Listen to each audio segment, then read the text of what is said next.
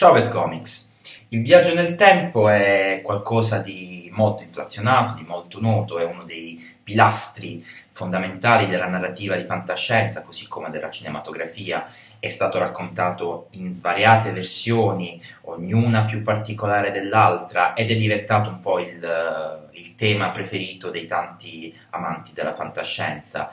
come anche degli autori. Ci sono state appunto tantissime versioni del viaggio del tempo, eh, ognuna però ha prodotto un, un, risultato che può essere definito come l'effetto farfalla, no? Se io torno indietro nel tempo e magari c'è la puntata dei Simpson in questo senso che è un magnifico esempio, anche solo se schiaccio un, un insetto, poi questa uccisione che non era prevista nel continuum originale spazio-temporale potrebbe provocare nel futuro degli effetti cataclismatici, degli effetti che, vanno, che vadano a cambiare sensibilmente la realtà di partenza eh, dalla quale io provengo, ecco, e generando di fatto una linea temporale alternativa. Questo è il tema anche di una delle opere più recenti di Mark Miller, torniamo a parlare di Mark Miller, sapete bene quanto io sia un, un amante del, del, modo di scrivere, di, di scrivere fumetti di Mark Miller, mi piace moltissimo, uh, mi piace il suo essere così scanzonato, il suo essere così pop, il suo essere anche abbastanza paraculo talvolta, non dispiace, non dispiace, le sue storie sono veramente puro intrattenimento e soprattutto nel tempo si sono evolute sensibilmente, hanno raccontato sempre cose nuove, se in partenza Miller era molto affezionato al canone supereroico del fumetto americano, eh, si è saputo diversificare nell'arco de- degli anni, insomma, arrivando per esempio appunto a Chrononauts, i crononauti, che sono appunto i protagonisti di questa sua opera, della quale Panini ha pubblicato il primo volume, e ha una storia autoconclusiva, però c'è un numero uno, quindi ci fa già intuire che questa storia proseguirà, sarà diciamo, strutturata a stagioni. Eh, Miller si, è, si, è riempito di impegni nel tempo e sta lavorando contemporaneamente a molteplici progetti, quindi non sappiamo benissimo quando arriverà, se arriverà un sequel di questa prima stagione di Chrononauts, anche perché lo stesso disegnatore Sean Gordon Murphy è attualmente impegnato su All Star Batman, leggeremo presto il suo arco narrativo della nuova serie di Batman di, scritta da Scott Snyder e ha anche anticipato di star lavorando a un nuovissimo progetto come autore completo sulla falsariga di quanto fatto già per Punk Rock Jesus e addirittura ha detto che la DC Comics vuole fare di lui il nuovo Frank Miller glielo auguriamo, ecco, non sarà, non sarà di certo facile.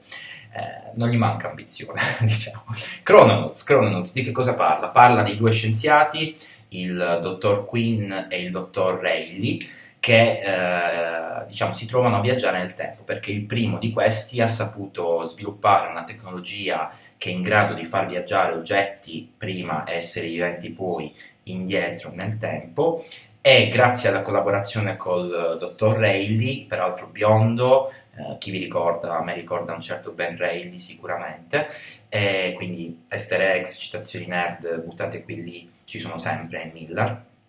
Ecco, eh, grazie a questo secondo dottore, questo secondo scienziato, eh, si, si, ha la, la scoperta, l'invenzione di, delle tute, delle tute molto particolari, molto colorate, sono arancioni, eh, che sono in grado appunto di possedere una batteria che dura addirittura 100 anni e sono in grado di spostare eh, coloro che le indossano, così come gli oggetti eh, nelle, limitrofi ai viaggiatori, eh, indietro nel tempo, facendoli fare dei veri e propri salti. Che succede però? Ovviamente c'è la programmazione del primo viaggio temporale, i media in quest'opera hanno un ruolo abbastanza importante, un evento storico che viene raccontato un po' da tutti e viene atteso da, da, dall'intera popolazione mondiale. In questo primo viaggio però qualcosina va storta, eh, non si riesce,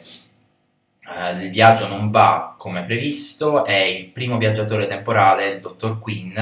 giunge eh, in un altro momento del tempo rispetto a quello che era stato preventivato. In suo soccorso arriva il dottor Rayleigh eh, che eh, vuole aiutarlo, però momento, nel momento in cui arriva scopre che in realtà il suo collega si è adattato benissimo alla sua nuova situazione e addirittura l'ha cambiata a suo favore, prendendosi tutto ciò che poteva prendere, immaginato un uomo del futuro che giunge nel passato con una tecnologia avanzatissima, cosa potrebbe fare giungendo appunto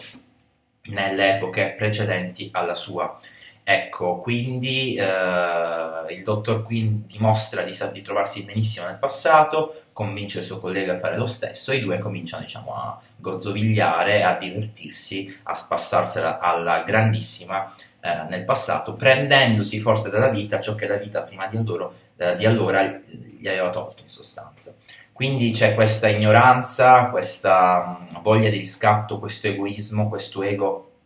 sconsiderato dei protagonisti che rischiano di alterare in maniera catastrofica eh, il continuo spazio temporale. Ovviamente ci sarà chi cercherà di impedire che loro facciano danni, ci saranno dei risvolti, ci sarà una conclusione, eh, è un arco narrativo molto interessante, ripeto, con un preciso inizio e un'altrettanto precisa fine, è molto divertente, si legge, si legge tutto, tutto in fiato, veramente, il volume va via in una mezz'ora, tre quarti d'ora uh, scarsi, è,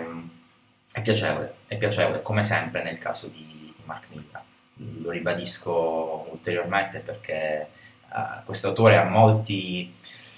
ha molti hater, ha molti critici che vanno a cercare di, di minare, di distruggere ciò che fa in maniera piuttosto vana, dato che ogni cosa che fa vende tantissimo e diventa un film, anche Chrononauts sarà un film. Eh, che altro dire? È molto interessante vedere come Miller riesce a fondere la fantascienza con altri generi narrativi,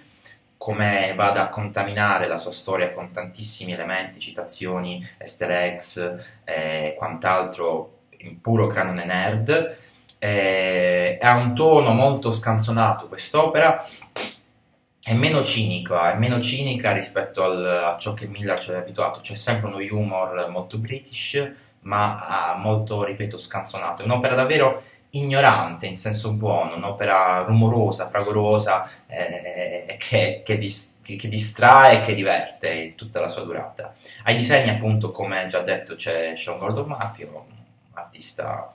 davvero interessante, dotato di un tratto uh, aggressivo, uh, dinamico, uh, originalissimo, che va a fondere peraltro più stili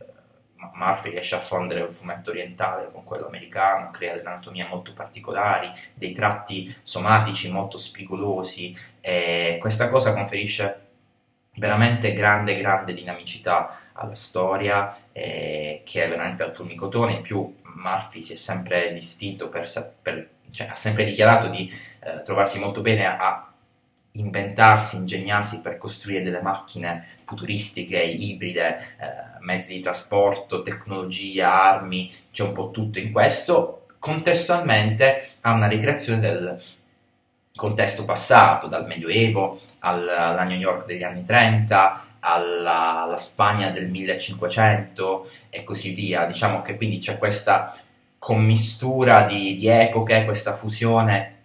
chiassosa eh, tutt'altro che, che delicata e, e, quindi diventa qualcosa di interessante sicuramente. Che altro dire? Eh, è perfetta, è perfetta quest'opera per essere adattata a film, anzi secondo me è stata proprio scritta in funzione di un adattamento futuro cinematografico che mi pare fu annunciato ancora prima che il primo numero di Chrononauts dell'edizione originale americana Image Comics uscisse negli Stati Uniti. Ecco. Quindi è, il ritmo veramente cinematografico, storytelling sequenziale, eh, molto appunto dinamico, i, i filoni narrativi si intervallano fra loro, si passa da un protagonista a un altro, ci sono primi piani, campi larghi e quindi è veramente strutturata in modo tale che chiunque la legga possa tras- proprio trasporla facilmente in una sceneggiatura cinematografica. Il volume è questo, fa parte della collezione Miller World della Panini Comics, cartonato, molto esile, prezzo 16 euro di copertina, l'uscita è